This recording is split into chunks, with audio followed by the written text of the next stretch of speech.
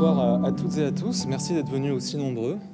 Michel Serre, vous qui avez peur de ne voir personne ce soir, je pense que vous êtes un peu déçu. C'est les vacances, oui. C'est les vacances, oui. Je commence. hein, Et je commence par, euh, par lire en fait le, le début de votre ouvrage. La croissance verticale de l'espérance de vie peuple notre beau pays de ceux que l'on appelle, avec une pudeur sotte, les seniors. On n'entend pas. Alors on va la refaire. Est-ce que c'est donc très bien. La croissance verticale de l'espérance de vie, c'est mieux? Peuple notre beau pays de ceux que l'on appelle, avec une pudeur sotte, les seniors. Je me compte parmi ces vieillards. Là, c'est vous qui parlez. Oui, c'est-à-dire on dit senior et je dis vieillard, puisque ça me concerne. Oui. Beaucoup idéalisent leur jeunesse. D'autre part, enfants ou séniles, femmes ou mâles, riches ou pauvres, droite ou gauche, croyants ou athées, hoc ou oil, breton, picard, alsacien, corse ou basque, le français râle, critique, s'indigne, tempête, rouspète, crie au scandale, se met en colère. Au moins trois fois par semaine, ce dernier mot orne la une de nos journaux. Vieillard plus râleur, deux populations non exclusives, cette somme ou ce mélange fait de notre France un pullulement dense de grands papas ronchons.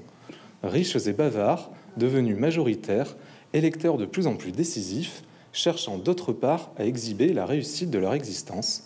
Ces colériques disent à petite poussette, chômeuse ou stagiaire, qui paiera longtemps pour ses retraités, c'était mieux avant.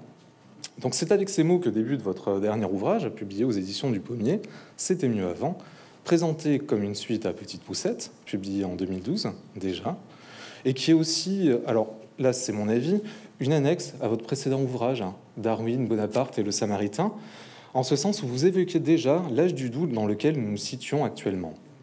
Avec ce livre, vous poussez un coup de gueule contre le déclinisme ambiant, et comme nous allons le voir ensemble durant l'heure qui vient, le monde d'aujourd'hui n'a vraiment rien à envier à celui d'avant. Vous assumez votre rôle de vieux sage, non sans malice, puisqu'avant, justement, vous y étiez, et que vous pouvez dresser un bilan d'expert.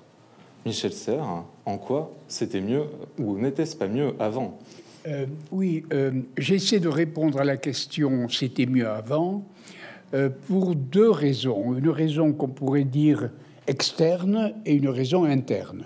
Alors je passe rapidement sur la raison interne. Il est vrai que pour moi, c'était mieux avant.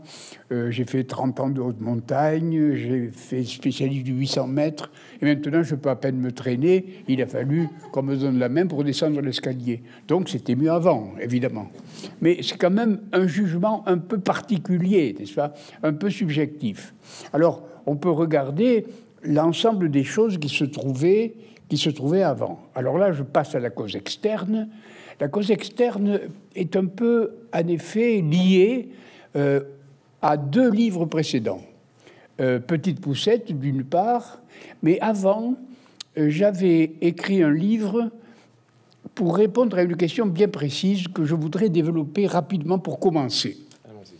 Euh, et la première fois que je me pose vraiment une question d'ordre politique, n'est-ce pas? Et je me suis dit qu'il y avait trois manières d'exercer le pouvoir. La première, c'était de régner, la seconde, c'était de gouverner, la troisième, c'était de gérer. Bon, alors régner, c'est faire peser sur ces sujets un- une sorte de puissance souveraine, comme le faisaient les rois, les tyrans, les empereurs, etc. Euh, ça, c'est une sorte euh, de manière un peu disparue, pas tout à fait partout, bien sûr, régner. Euh, gouverner est plus intéressant. Gouverner fait allusion à un modèle de société que les philosophes grecs connaissaient depuis longtemps, de comparer un groupe ou une société à un bateau. Et un bateau, en effet, doit être gouverné au sens du gouvernail.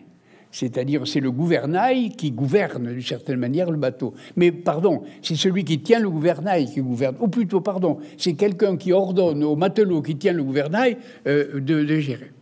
Par conséquent, celui-là, celui-là qui exerce le pouvoir, euh, gouverne à la condition triple de savoir où il est, de faire le point le matin et le soir, euh, de savoir d'où il vient, bien entendu, et de savoir où il va.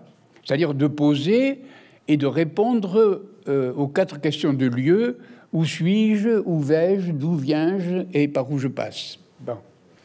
Et c'est ça gouverner. Et c'est la question que je me posais réellement pour le temps d'aujourd'hui.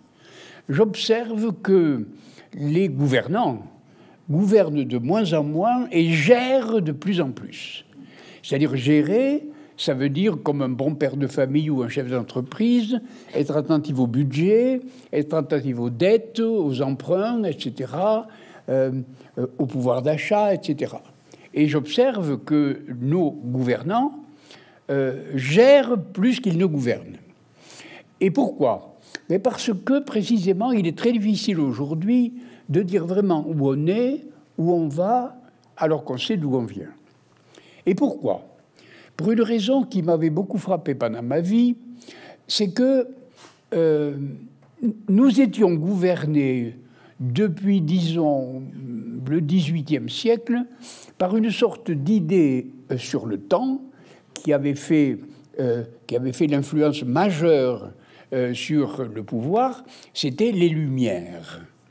Et grâce aux Lumières, énoncées au XVIIIe siècle, on pensait qu'il y aurait du progrès et que ce progrès serait déterminé ou conditionné par l'avancée des sciences, l'avancée du savoir, et que le savoir nous permettrait d'avoir plus de confort, d'avoir plus de puissance, d'avoir plus euh, une existence, etc.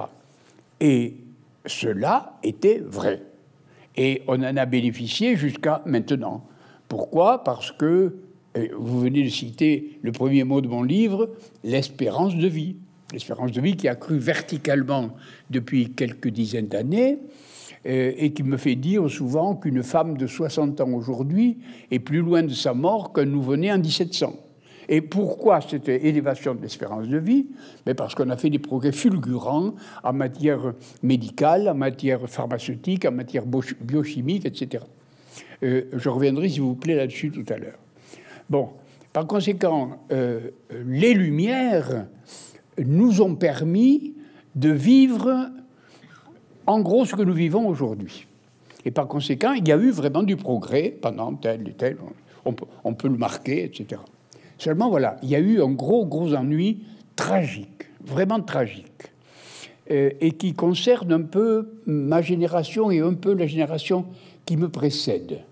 C'est que cette science que nous disions toute bonne et seule bonne, et qui était en gros le pilote du progrès, n'est-ce pas, avait fait tout d'un coup avec, si vous voulez, les, plus grandes vedettes de la physique moderne réunies dans le désert du Nevada euh, vers la fin de la guerre, avait produit ce Little Boy, n'est-ce pas, cette bombe A qui avait éclaté à Hiroshima. Et, et tout d'un coup, un choc extraordinaire pour les générations en question, la mienne et celle des prédécesseurs. Je connais même des professeurs de physique ou des chercheurs en physique qui, dans ces années-là, ont quitté leur discipline pour ne pas être, euh, pour ne pas être comptables euh, de ces problèmes-là. Et d'ailleurs, s'il y a eu un progrès fulgurant de la biochimie, c'est en partie à, à cause d'eux. Par conséquent, là, il y a eu une sorte de blessure sur la philosophie des Lumières. Et bien entendu, nous en sommes les héritiers. Et du coup, bien entendu, on ne savait plus, euh, on ne savait plus penser ou réfléchir à la notion de progrès. Est-ce que nous sommes en progrès? Alors, bien entendu, à ce moment-là, euh, beaucoup de gens qui étaient, disons, plutôt conservateurs que pour le progrès, euh, ont pris cause sur... Pas seulement. vous pensez bien que moi-même, avec l'âge que j'ai, j'étais scientifique d'origine et je suis devenu philosophe à cause d'Hiroshima. Un peu comme Jacques Monod, mon ami, euh, qui était euh, lui-même euh, un, vrai scientifique, s'est réorienté vers l'ADN pour inventer ce que vous savez. Par conséquent, il y a eu là une crise de conscience extraordinaire qui a coupé tout d'un coup à la fois le temps, l'histoire et puis ces notions qui étaient euh, nos notions favorites pour gouverner. Alors évidemment, euh, il fallait bien remplacer d'une certaine manière ou étayer ou, essayer d'améliorer cette philosophie des Lumières, n'est-ce pas? Et voilà, À qui la faute? Réponse aux philosophes, à moi, à, nous les philosophes. Pourquoi? Parce que c'est à la philosophie à créer, à promouvoir et à inventer une philosophie de l'histoire. Ce sont les philosophes qui ont inventé les Lumières. Et, si les Lumières sont euh, un peu affaiblies, euh, euh, qui, qui va les réallumer? Qui va... Et, et c'est pour ça, cher ami, que j'ai écrit un livre avec peut-être beaucoup d'audace, avec peut-être beaucoup euh, euh, euh, de, risques, si vous voulez, qui s'appelle Darwin, Bonaparte et le Samaritain, une philosophie de l'histoire. Parce que je savais qu'il était urgent d'essayer d'en écrire une. Et me voilà donc en train d'écrire ce livre-là, et de, évidemment, donner une importance qui est à la fois subjective pour ma vie et objective pour la science, la guerre, la violence, etc., le mal avec un grand thème, n'est-ce pas euh, C'est-à-dire ce qui avait été pour moi décisif, euh, euh, l'explosion de la bombe atomique. Et là, je me suis aperçu, chers amis, que dans l'espace qui précède cette année terrible qui est l'année 44-45, n'est-ce pas Que dans l'espace précédent, et j'ai recueilli des témoignages de beaucoup d'historiens, je me suis aperçu à ce moment-là, dis-je, que dans l'intervalle entre 3000 ans avant Jésus-Christ et notre temps, l'humanité n'avait connu que 5 à 7% de paix. C'était la guerre perpétuelle. C'était la guerre perpétuelle. D'ailleurs, vous avez appris, au fond, vous, voyez bien là, euh, vos, livres d'histoire, n'est-ce pas? De qui parliez-vous? Ben oui, de Bonaparte, oui, de Louis XIV, oui, la chanson de Roland, oui, l'Iliade, etc. La guerre perpétuelle. Et tout d'un coup, et c'est ça qui m'intéresse pour C'était mieux avant, et tout à coup, nous, au moins en Occident et peu à peu partout ailleurs, nous avons vécu 65 ans de paix. Ce n'était jamais arrivé dans l'histoire. Cet intervalle, si vous voulez, de paix est un intervalle absolument unique dans l'histoire humaine. Pas seulement l'histoire européenne, mais dans l'histoire humaine. Alors j'ai regardé un peu de près cet avènement, disons, de, la paix, n'est-ce pas dont d'ailleurs euh, personne ne voit ni, ni, la valeur ni la présence. Parce que si, je, si j'écoute la rumeur des gens, les gens pensent qu'on est dans un moment de violence, un moment où le monde est chaotique, le monde, etc. Alors, je crois que je l'ai dit ici dans cette salle une des dernières fois que je suis venu, mais vous m'avez pas écouté, et donc vous allez m'écouter maintenant. Vous allez taper, quand vous serez rentré chez vous, sur votre ordinateur, cause de mortalité dans le monde. Cause de mortalité dans le monde. Et vous allez voir apparaître un tableau avec des chiffres établis par euh, l'OMS, l'ONU, l'UNESCO, enfin toutes les institutions internationales, et euh, vous verrez apparaître les causes de mortalité dans le monde, les maladies, le tabac, etc. Quelle est la dernière des causes de mortalité dans le monde, telle qu'elle est pratiquement, oui, les statisticiens le disent, négligeable. C'est guerre, violence, terrorisme guerre, violence, terrorisme. Par conséquent, objectivement, et chiffres à l'appui, on peut dire que nous sommes en paix. Nous le savons, nous, pour ce qui concerne l'Europe occidentale, mais les chiffres que propose ce tableau sont des chiffres pour le monde entier. Et depuis que je l'ai dit, euh, apparu euh, là, il y a six mois ou un an, un gros travail d'universitaires américains euh, qui disent, vous savez, en 1500 pages ce que je dis en trois lignes, euh, et, il fait des courbes comme ça, et il montre que la violence ne cesse de baisser, et que dans l'état actuel, elle tangente zéro. Voyez Donc c'est parfaitement confirmé par des études documentées. Par conséquent, euh, cette paix caractérise un moment exceptionnel dans l'histoire. Et c'est pour ça que dans le livre de philosophie d'histoire, j'en fais un moment, un moment de l'histoire que vous venez d'appeler l'âge doux. L'âge doux, c'est-à-dire l'âge pacifique, l'âge de la paix. Et donc, c'est cet âge doux que j'ai voulu interroger ou réinterroger dans le livre euh, que je vous présente aujourd'hui. Alors, je voudrais dire un petit correctif dans les mots que vous avez employés à propos de ce livre. Vous avez dit que c'est un coup de gueule. Oh non, c'est un livre gai, c'est un livre amusant, c'est un livre léger, c'est un livre un peu humoristique, etc. Vous allez le voir, il est très agréable à lire. Ça, c'est, de la pub. Oui, mais, en plus, c'est vrai, comme disaient les députés radicaux du Sud-Ouest. En plus, c'est vrai. Euh, donc, c'est pas du tout un coup de colère, c'est un essai d'établir un bilan euh, euh, pour alors, je reviens à gouverner pour faire le point où en sommes-nous. Mais où en sommes-nous? Alors, je fais la liste des caractéristiques ou des paramètres de cet état actuel. Alors, je dis bon, la paix, la paix, bon, euh, et la paix beaucoup plus que nous le croyons, et la paix beaucoup plus que vous ne le croyez, euh, pour une raison très simple, ou double raison c'est que la paix, c'est l'oubli. Euh, le matin, quand vous regardez à la glace et vous faites votre toilette, vous ne dites pas à votre image, nous sommes en paix. Eh, moi, je me le dis. Pourquoi? Parce que la guerre, c'est la mémoire et que la paix, c'est l'oubli. Quand on est en paix, on oublie qu'on est en paix. Les peuples heureux n'ont pas d'histoire. Par conséquent, nous sommes en paix, premièrement, mais je reviens tout, aux chiffres de tout à l'heure de l'augmentation verticale de l'espérance de vie l'augmentation est telle que, je le répète, euh, voyons, euh, la moyenne d'âge était euh, généralement autour de 40-45 ans, elle est aujourd'hui pour nos compagnes de 84 ans. C'est-à-dire les vies ont pratiquement doublé.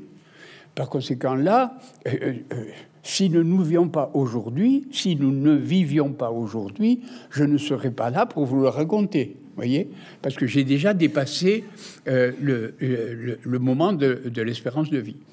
Par conséquent, mais d'où elle vient cette augmentation d'espérance de vie? Mais je le répète, euh, des antibiotiques, de la pénicilline, des antalgiques, des anesthésies, etc. Tout ce qui nous fait la vie douce, disons. Voyez? Par conséquent, là, je note deux progrès. Toc, toc. Voyez? Et ce moment, je le répète, ce moment où notre espérance de vie est de 84 ans est unique dans l'histoire de nouveau. Ça n'est jamais arrivé. Alors une paix qui n'est jamais arrivée, euh, un état de santé qui n'est jamais arrivé, et j'ai envie de parler de façon un peu latérale de la douleur. Euh, vous ne vous rendrez jamais compte à quel point vos ancêtres et nos ancêtres ont souffert. Euh, je prends un exemple. Louis XIV, entouré des meilleurs médecins de son royaume, et qui a, hurlé de douleur tous les jours. Il était affecté euh, euh, d'une fistule anale qui n'était pas opérable à l'époque. Aujourd'hui, une fistule anale, c'est un coup de bistouri, huit jours d'antibiotiques, hein, c'est-à-dire rien du tout. Vous voyez donc l'écart. Je ne dis pas que nous ne souffrons plus, c'est pas vrai. Euh, mais, voilà, il se trouve que il se trouve que la douleur a statistiquement baissé un peu comme la violence. Vous voyez. Et, ça, c'est un avantage considérable qui change tout, tout.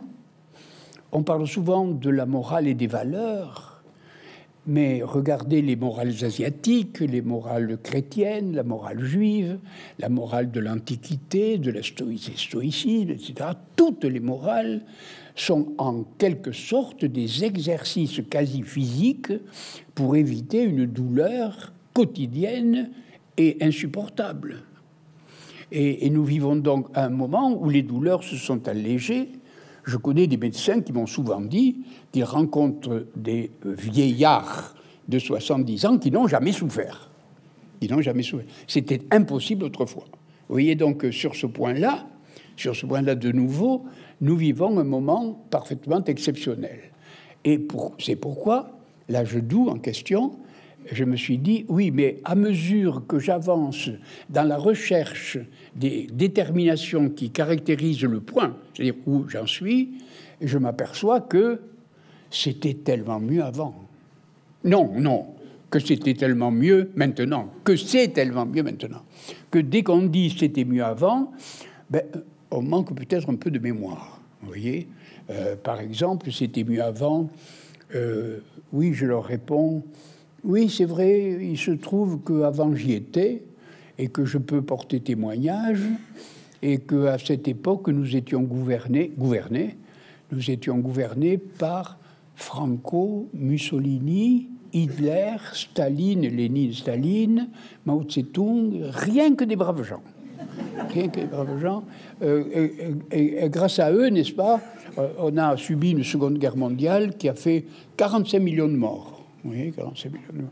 Et, bien sûr, les crimes d'État par la suite, la Shoah, ainsi de suite, le Goulag, a fait, en a ajouté quelques, quelques millions, quelques dizaines de millions. Par conséquent, euh, quand je me souviens de cette époque, je ne peux pas dire que la paix d'aujourd'hui n'est pas un prix inestimable, un inestimable cadeau de l'histoire. Et euh, c'est pourquoi je voudrais que vous preniez conscience à quel point c'était bien pire avant.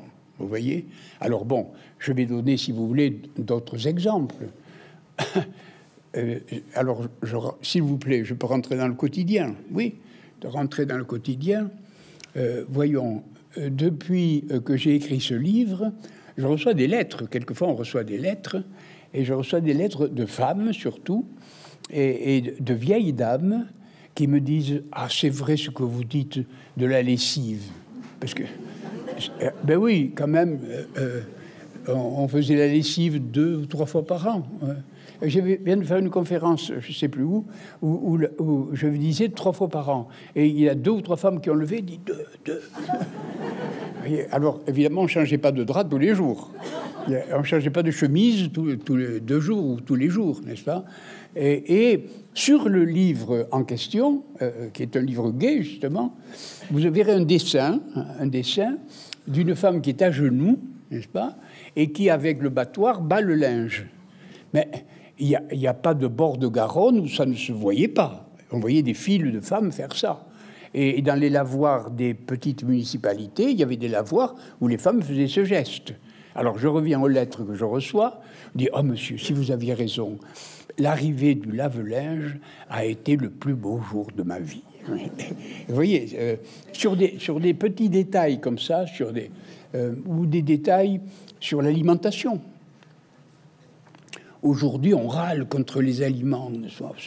C'est dégoûtant, c'est la malbouffe, c'est affreux. On ne sait même pas la provenance des aliments. C'est une catastrophe. Mais de mon temps, on la connaissait, la provenance des, aliments. On allait même chercher le cochon à la ferme et on le tuait chez nous. Et puis, quand on tuait le cochon chez nous, on savait la provenance, bien entendu. Et c'est nous qui faisions les saucisses, les boudins, enfin, les jambons, vous savez, très bien. Et on les conservait dans la cave. Hein bon. je me souviens très, très bien de mon père, quand on prenait le jambon à la cave pour le manger, eh bien, avec un couteau, on enlevait d'abord les vers. Eh ben ouais, remarquez, c'est la biodiversité, ça c'est certain. Euh, mais enfin, euh, aujourd'hui, si vous voyiez des vers dans le jambon, euh, vous feriez un procès à votre charcutier, n'est-ce pas? Mais, autrefois, ben, il y avait des vers dans le jambon. Et, puis on avait un peu la colique toutes les semaines, n'est-ce pas? La provenance était formidable, mais la biodiversité aussi, vous voyez. donc, je fais un peu le bilan euh, de choses lourdes, comme la paix, etc., l'espérance de vie, et puis de choses un peu plus légères, comme la vie quotidienne, la saleté, l'hygiène, etc. Donc, au bilan, il faut prendre conscience, en effet, euh, que nous vivons un moment, eh bien, que aucun de nos ancêtres n'a jamais vécu. Alors, c'est pas un livre, euh, c'est pas un livre si léger que je vous le dis. C'est un livre assez lourd, puisque précisément, on prend conscience que l'intervalle de temps qui nous sépare en gros de la Seconde Guerre mondiale, euh, grâce à ça, on est rentré dans un moment dont nous n'avons pas conscience. Parce que la plupart des gens disent, disent journellement le contraire de ce que je dis. Et d'ailleurs, je vais avoir des questions et je répondrai volontiers à ceux qui diront le contraire de ce que je dis. C'est très intéressant d'avoir ce débat. Voilà. Vous allez dire le contraire? Ben, j'allais dire le contraire. Tout n'était pas si formidable avant. Il y a des choses pour lesquelles on pourrait, euh, on pourrait discuter. Et vous, vous évoquiez notamment les, euh, les zones périurbaines. Hein. Attendez.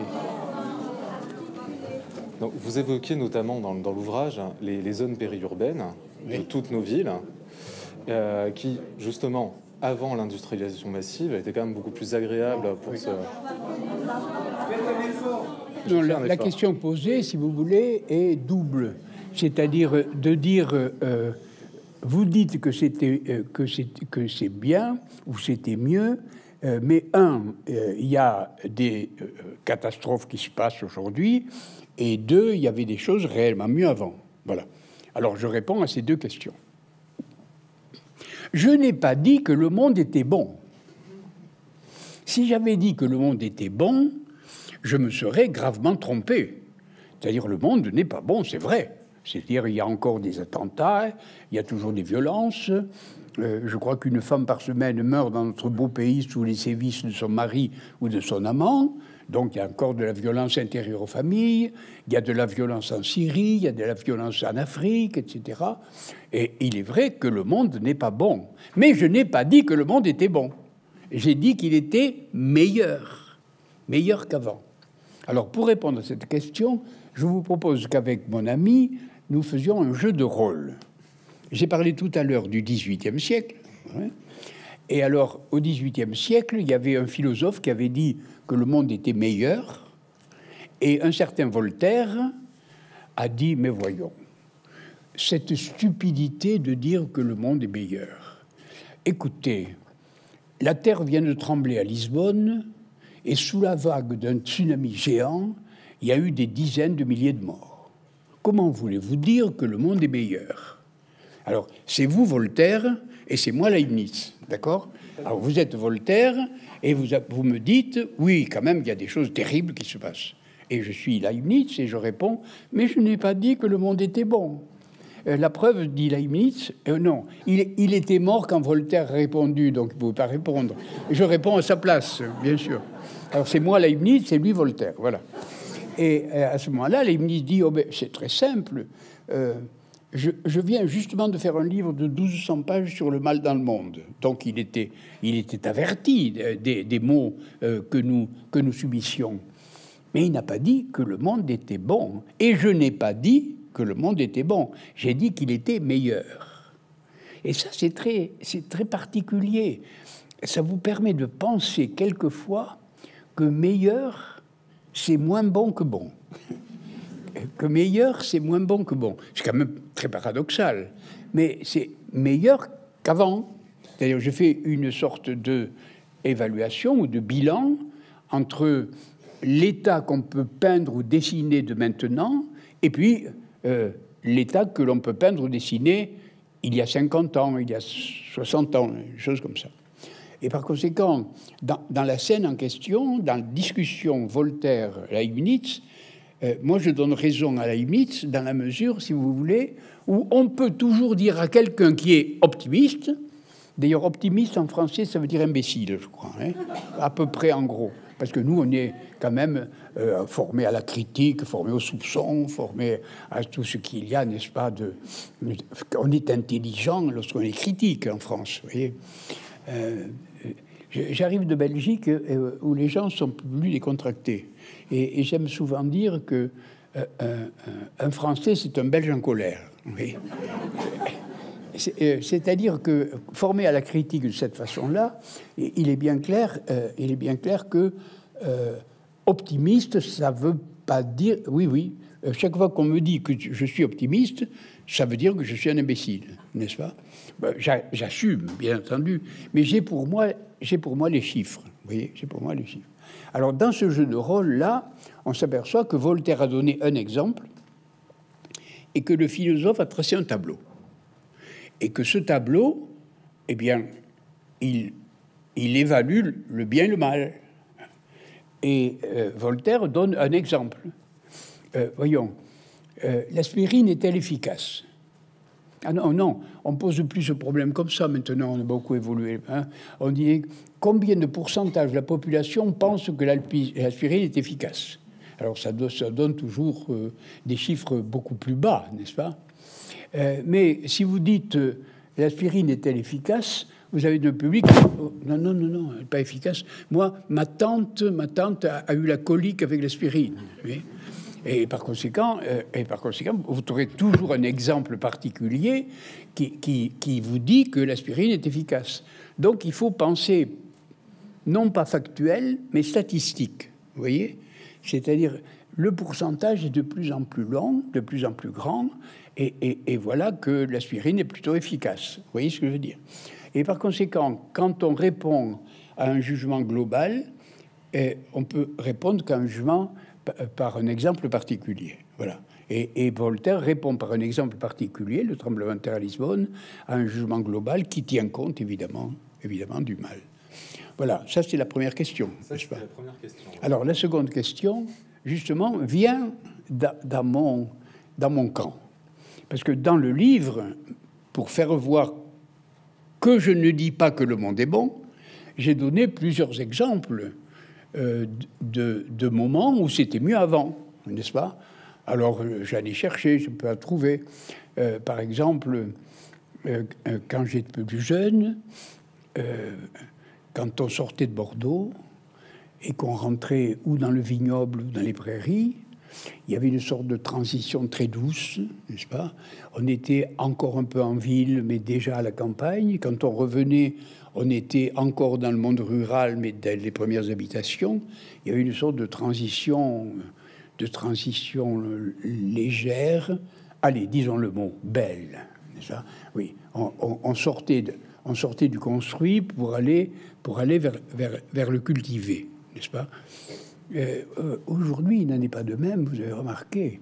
C'est-à-dire les sorties ou les entrées de ville sont livrées à une laideur invraisemblable. C'est vrai. C'est de, j'appelle ça l'états-unienne hideur, n'est-ce pas? Euh, Parce que on a voulu imiter les États-Unis dans six hommes de plus laid, n'est-ce pas? Et, vous voyez des, des, choses abominables. Et dans toutes les villes de France, il en est ainsi. Bon, voilà un exemple mineur, si vous voulez, euh, où les choses étaient vraiment mieux avant. Et donc, dans ce livre, je dis bien, euh, et je le répète, euh, que je ne dis pas du tout que le monde est parfait. Euh, non, il y a toujours ce 1% qui traîne et qui est toujours très douloureux. Il y a toujours ces douleurs qui... euh, ah oui, mais dans une émission de télé, si on veut dire que l'aspirine est efficace, on va vous faire voir un débat, parce que c'est le débat qui compte. Alors d'un côté, il va y avoir un pharmacologue quelquefois prix Nobel d'ailleurs. Hein oui, quelquefois, on peut choisir un prix Nobel. Parce que, vous le savez, euh, la France est le pays qui a eu le plus de prix Nobel ces 20 dernières années, n'est-ce pas? Euh, Par nombre d'habitants, par nombre d'habitants. Euh, mais si vous, si vous demandez à n'importe qui de réciter les six derniers ou huit derniers prix Nobel, personne ne le sait. Mais les huit derniers chanteurs américains, tout le monde le sait, n'est-ce pas? Voilà. Et, par conséquent, à, la télé, vous aurez un débat entre ce prix Nobel, là, qui sait ce que c'est en gros que la chimie, etc., parce que c'est son boulot, et puis quelqu'un qui dit Moi, ma tante, euh, ma tante a eu la colique, vous voyez C'est ça le débat. Et oui, bien sûr, c'est le débat, du sorte que le téléspectateur qui regarde le débat pense que les deux opinions se valent. Voilà. Et, et, ça, c'est catastrophique. C'est catastrophique parce que d'un côté, il y a une opinion fondée, n'est-ce pas? Et de l'autre côté, un exemple qui est factuellement vrai. Factuellement vrai. C'est vrai que la tante a eu la colique, il n'y a pas de problème là-dessus. Mais ça ne dit pas grand-chose sur l'efficacité du médicament. Voilà, en gros, mes deux réponses à votre question euh, relative, à votre question plus large. J'aimerais qu'on évoque maintenant la, la, disparition des mots. Vous avez un petit chapitre qui s'appelle La poubelle des outils, oui. dans lequel vous évoquez énormément d'objets oui. qui ont disparu de nos quotidiens. Oui. Et euh, votre travail d'académicien, euh, sur lequel vous réunissez, il me semble, tous les jeudis euh, avec, euh, avec quelques amis, vous travaillez justement sur un classement, un nouveau classement de. Oui. Ben, la, la, question porte sur le travail de l'Académie française euh, en termes de vocabulaire. Alors, je, réponds de façon très précise parce que j'ai fait une, vraie étude sur cette question. Voici. Nous faisons le dictionnaire qui fait référence de la langue. Et euh, on attend que la langue se stabilise un peu et le dictionnaire paraît tous les 12, 15, 17 ans. Vous voyez, le temps de. Parce que si vous faites un dictionnaire tous les ans, vous faites rentrer des mots que personne n'utilise le lendemain. bon, par conséquent, il faut garder une sorte de, stabilité. Et par conséquent, nous disposons dans nos archives de tous les dictionnaires que nos collègues ancêtres ont euh, travaillé et publié depuis Richelieu. Et ça fait un paquet de dictionnaires, n'est-ce pas? Et là-dessus, on travaille euh, avec des ordinateurs statistiquement sur quelle est la différence entre deux, euh, entre, entre deux dictionnaires successifs. Et à notre grande surprise, la différence entre deux dictionnaires successifs et de une fenêtre entre 2 et 4000 mots, 5000 mots. En gros, si vous voulez, 3005, etc. Et cette différence, c'est ça qui est le plus surprenant, est absolument constante de dictionnaire en dictionnaire.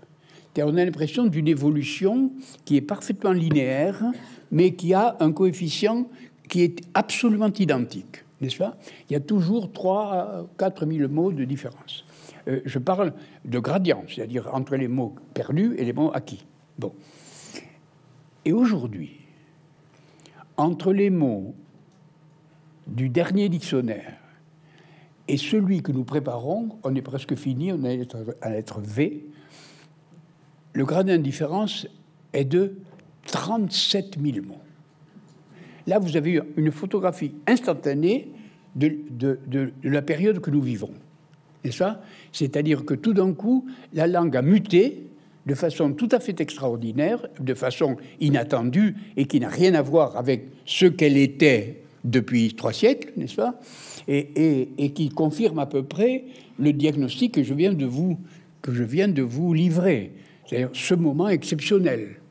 Alors, euh, bien entendu, il y a deux questions qui se posent. C'est est-ce que ça se passe aussi dans les autres langues? Et ensuite, mais qu'est-ce que c'est? Ces mots nouveaux ou ces mots anciens? Alors là, on a des réponses. D'abord, la première est très simple. Il suffit de téléphoner à nos collègues brésiliens, à nos collègues euh, portugais, italiens, euh, espagnols, allemands, tout ce que vous voudrez, et la réponse est oui. C'est-à-dire à peu près toutes les langues mutent de cette façon-là. Par conséquent, les langues, euh, disons, que nous connaissons, ont la même évolution que la nôtre aujourd'hui. Et elles reflètent, si vous voulez, par une photographie instantanée, comme je disais tout à l'heure, l'état actuel de la question. Voilà pour toutes les autres langues. Mais maintenant, la question est de savoir, mais quels mots Quels quels, euh, Pourquoi il y en a tant qui ont disparu et pourquoi il y en a tant qui sont arrivés? Alors euh, là, j'ai étudié moi-même ça, euh, parce que le reste, c'est un travail collectif, mais on peut regarder et essayer de regarder euh, mot par mot, si vous voulez, un peu statistiquement comment ça se passe. Voyons. dans les années dont je parle, et vous le savez dans votre propre famille, la proportion des agriculteurs dans notre pays et dans les pays analogues aux nôtres était de 60 à 65% Aujourd'hui, les agriculteurs sont 3,6% et dans certains pays 2% et dans d'autres pays où ils sont encore très nombreux, la tendance est toujours à, à descendre de plus en plus. Par conséquent, attention là, ça c'est un phénomène géant. Pourquoi? Parce que lorsque des ancêtres de génie ont domestiqué certaines espèces de flore et de faune, donc ils ont inventé l'agriculture et l'élevage au néolithique, les humains sont devenus paysans. Les, humains étaient chasseurs-cueilleurs et ils sont devenus éleveurs-agriculteurs. Réponse, tous. Et vous savez, la tendance est lourde c'est-à-dire encore, je crois, vers les années euh, du début du 19e siècle, il n'y avait que 5 à 6% des humains qui étaient en ville. C'est-à-dire ils étaient tous euh, à la campagne. Or, aujourd'hui, changement complet, euh, les, villes sont devenues des métropoles géantes et la campagne se vide. Il n'y a qu'à traverser la campagne, on voit bien qu'il n'y a personne dans dans les champs, alors que les champs étaient peuplés quand j'étais petit, bien sûr. Et par conséquent, qu'est-ce qui arrive aujourd'hui? Je crains d'exagérer, mais je crois que j'exagère à peine. Nous vivons la fin du néolithique. Nous vivons la fin du... C'est géant, n'est-ce pas? C'est-à-dire le moment où on était tous paysans, au moment où on est presque euh, tous euh, à, la ville. Et maintenant, j'ai des, des, étudiants qui n'ont jamais vu de poussin, des étudiants qui n'ont jamais vu de veau, des étudiants qui, j'ai même rencontré un ingénieur qui était étonné quand je disais que, que les vaches avaient du lait quand elles, avaient des veaux. C'est pas possible cette affaire. Enfin, l'ignorance de l'agriculture est devenue colossale, colossale. Bon, et pour ces raisons-là. Et, donc, euh, les, les, les, outils de l'agriculture, le joug, le timon, l'aiguillon, tous ces mots, ils sont partis. Hein. Qui aujourd'hui sait ce que c'est qu'une émouchette hein? Levez le doigt celui qui sait que ce n'est une émouchette. Personne lève le doigt. Moi, je sais que c'est qu'une émouchette, parce que je suis vieux. Euh, lorsqu'on mettait les, bœufs sous le joug, euh, pour tirer la charrue, on, attachait le joug aux cornes par des courroies de cuir. Par conséquent, la tête du bœuf était immobile pendant la journée entière où il labourait. Donc il ne pouvait pas se défendre des mouches. Et pour qu'on puisse le défendre des mouches, on tissait, on tissait un carré, un carré euh, de, hein, euh, avec, avec des, espaces assez grands pour qu'il voit et assez petits pour que les mouches passent pas. Et on accrochait ça aux cornes des bœufs et on avait ça, ça s'appelait une émouchette. Expulser les mouches, c'est joli, et mouchette.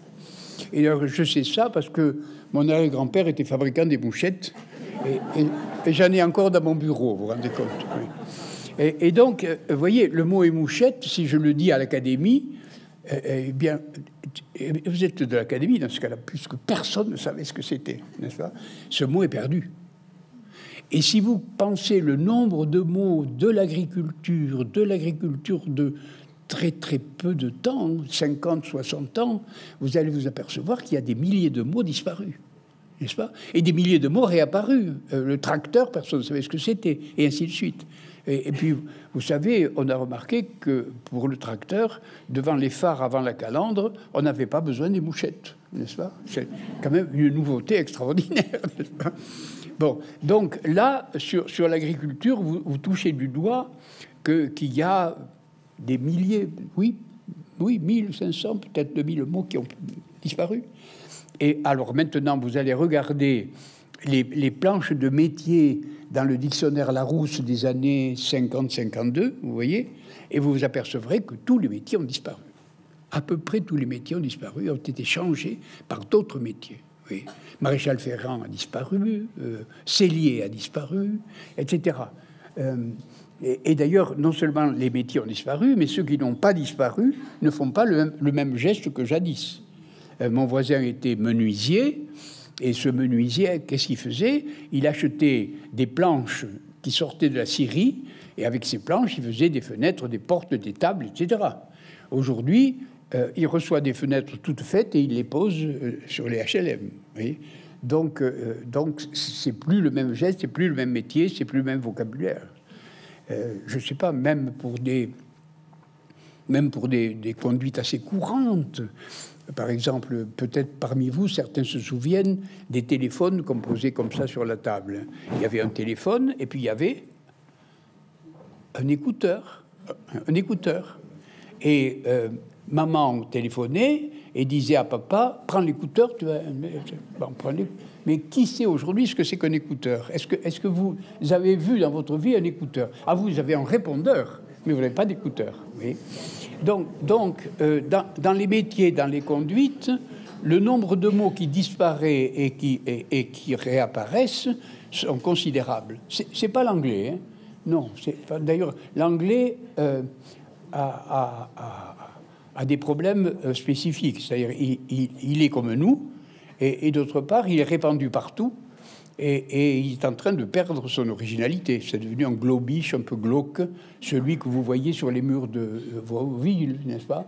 Cette sorte de, d'anglais utilisé par les publicitaires et les trucs, qui n'est pas de l'anglais, qui est une sorte de, de langue molle, n'est-ce pas, où tout le monde dit la même chose, etc. Bon. Euh, c'est terrible parce que, à propos du français, là, je dis, j'ai envie de vous dire là que sous les, que sous la, pression euh, des, écoles de commerce, sous la pression des publicitaires, sous la pression, etc., euh, nous sommes en train de commettre un suicide culturel gigantesque. On est en train de perdre le français, n'est-ce pas euh, au, milieu de Paris, sur la place de la Concorde, devant le ministère de la Marine en train de se, de se euh, avec les travaux, n'est-ce pas Il y a un mot anglais en lettre colossale, une lettre anglaise, et en dessous, en tout petit caractère, il y a la traduction pour ceux qui ne savent que ce dialecte un peu méprisé ringard qu'on appelle la langue française, n'est-ce pas? Et, c'est un état de choses qui me qui terrifie. Bon, bref. Voyez donc que quand on revient à ce problème-là, les 37 000 mots, vous comprenez pourquoi ils ont disparu. Par conséquent, là, il y a une mutation des conduites humaines, une mutation des métiers, une mutation de la saisie des outils. Euh, allez, je, raconte ma vie. Euh, mon père était dragueur. Dragueur, ça ne voulait pas dire ce que ça veut dire aujourd'hui. Ça veut dire avoir une drague qui, euh, euh, qui prend du sable et des cailloux dans la Garonne. Très bien. Et, comme, il était dragueur, on, vendait du sable. On vendait du sable. Et, quand le sable était sur, sur la rive, il fallait lui livrer au client. Et pour le livrer au client, il y avait le tas de sable avec une pelle. Hop, et il appelle sur la, sur la benne du camion.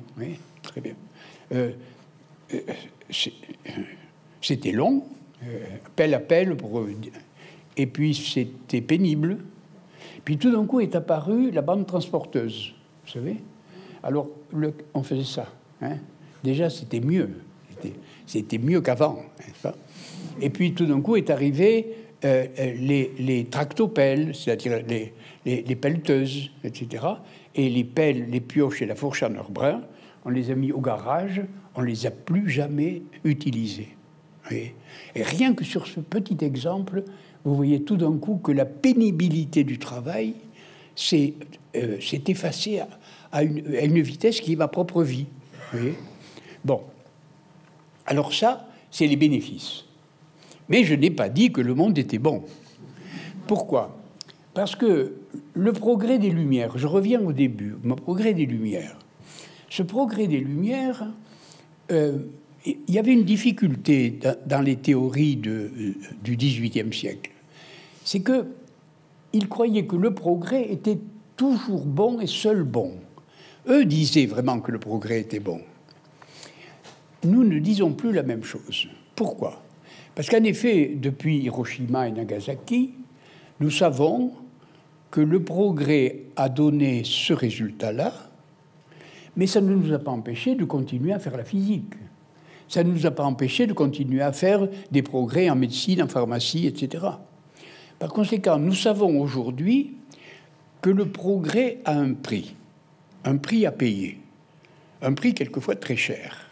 Alors, le prix là, c'était en effet l'application à la violence. Mais je prends l'exemple maintenant de l'espérance de vie qui croît, qui est un véritable bénéfice, mais il se paie cher. Et oui, parce que vous le savez, la sécurité sociale rembourse une grosse, grosse partie de son budget pour la dernière année de la vie. N'est-ce pas? Ça coûte très cher, même financièrement. D'ailleurs, ça avait donné euh, lieu à un, gouverneur, un gouverneur, enfin quelqu'un politique que je connais, qui avait dit ah ben la solution est très simple, il suffit de supprimer les prestations pour la dernière année de la vie. C'est une idée vraiment intelligente. Bon, donc euh, ça, se paie comme ça, ça se paie par 20% d'Alzheimer. Ça, se paie, ça se paie cher. Et ça se paie, disons, voyons, aujourd'hui, si l'espérance de vie est de 84, etc., euh, la personne qui décède euh, va léguer sa fortune à ses enfants. Mais si vous avez 80, 85 ans, vos enfants sont déjà à la retraite. Et par conséquent, euh, la fortune la fortune euh, des familles va, rester en rond comme ça dans les générations improductives. Ce qui, pour l'économie, est un problème. Alors, j'ai beaucoup parlé de ça. Et il y a maintenant une nouvelle disposition qui est pas mal. On peut faire une donation-partage à ses petits-enfants. Alors ça, c'est tout à fait sage, et je vous engage à le faire, parce que euh, quand, vous quand, vous, quand vous mourrez, que vos enfants sont à la retraite, ben, oui, ils sont bien contents d'avoir de l'argent pour faire des croisières culturelles, etc. Bien sûr, tout à fait d'accord. Mais, mais, enfin, bon, c'est pas très productif, voyez. Donc, le, la, chose à savoir est que ne savaient pas les Lumières, et que, et que nous avons appris, et que je cite beaucoup dans mes livres, c'est que les progrès ne sont pas tous bons. Alors, le monde n'est pas tout bon, mais les progrès ne sont pas tous bons. Vous voyez? C'est-à-dire, on croyait que la science était toute bonne et seule bonne. Non, non, elle est meilleure. voilà. Elle nous amène un monde meilleur. Et de nouveau, meilleur, c'est moins bien que bon. Vous voyez? Et, ça, c'est intéressant à, noter. Voilà mon secret. Donc, lisez mes livres.